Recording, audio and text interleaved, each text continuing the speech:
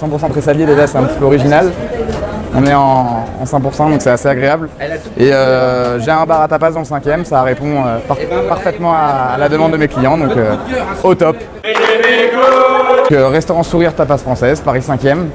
Bar à, c'est des petites portions, ça se partage. C'est bon, c'est frais, et voilà. J'adore ce vin.